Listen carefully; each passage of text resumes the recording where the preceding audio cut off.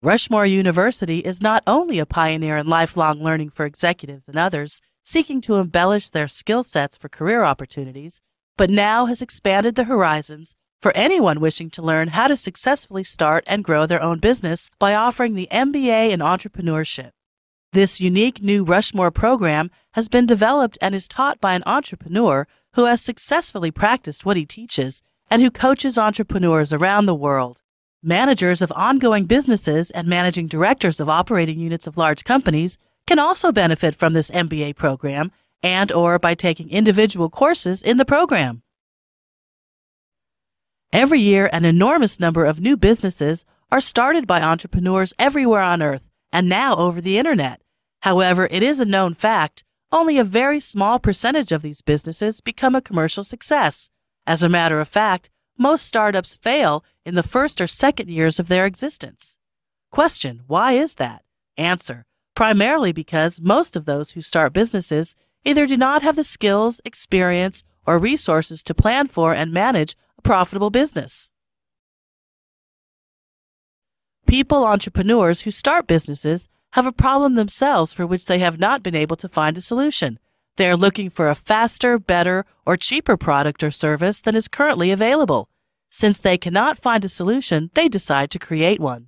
Fused with enthusiasm and convinced that their vision for a superior solution will have virtually unlimited appeal, they rush wildly into their new business. Typically, one or two things happen. They are either overwhelmed by short term demand that they cannot adequately supply, or meet with little immediate acceptance of their new idea and fail.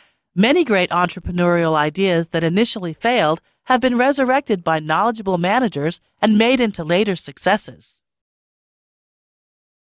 As the startup begins to falter with a mounting array of expenses, unanticipated problems, and few customers, the founder and their soul brothers become disillusioned. Obviously, the fundamental problem is the absence of a plan, and without a plan, every day is a crisis of one kind or another. The first and most painful lessons for entrepreneurs is that cash is king. Typically, with no accounting or budgeting skills, or the most fundamental tool, a break even analysis, their limited capital is quickly exhausted. Entrepreneurs are long on ideas, but notoriously short on cash. The little that they have is rapidly depleted because, as in life, everything takes longer and costs more. You would think that anyone starting a business would have a plan, wouldn't you? Typical entrepreneurs are impatient, dislike controls, and have very short term horizons. Whatever plans they may have are very fluid and kept to themselves.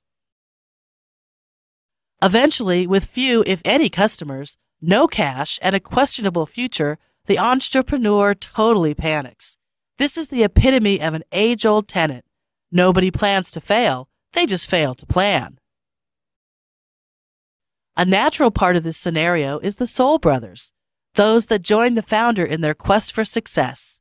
Few businesses are started by individuals. Most are begun with an entrepreneurial founder and one or more of their techie colleagues.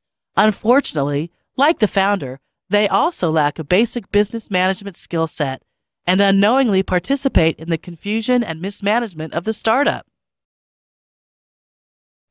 Blame is rampant as the startup begins to falter and everyone is at fault. Without a plan, every day is a crisis. Without the fundamentals, a plan, break even analysis, and some contingencies, what can there be? Even those who are innocent are to blame. Every entrepreneur needs an advice squad made up of those with basic business skills the accountant, the lawyer, the planner, and the angel investor. Want to avoid this painful scenario? Who wouldn't? Doesn't it make good sense to learn the fundamentals before starting so that you can avoid the common mistakes and pitfalls of all the startup businesses that have failed? Don't you want to know how to start out with and manage a successful team? Don't you want to create a plan to win? Rushmore's MBA in entrepreneurship is the answer. Let's review the courses and the value of each. The management of innovation how to take your idea for a business and formulate the value proposition. Executive management responsibility, how to manage your team company effectively. Managerial accounting, why accounting is so critical to the success of any business. Marketing management, Learn the difference between marketing and selling. Strategic business planning, the value of developing plans and strategies. Entrepreneurship, how to take your idea and develop it into a business plan. Internet marketing, how to transition or start your business on the internet. Electives from Rushmore, select other Rushmore courses to embellish your leadership skills.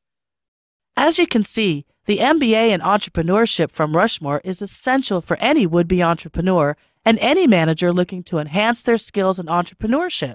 Any questions on the program or the individual courses which can be taken independent of the total program should be directed to Dean Alan Gwynn or Program Director Professor Robert M. Donnelly. Their contact information is available on the Rushmore University site.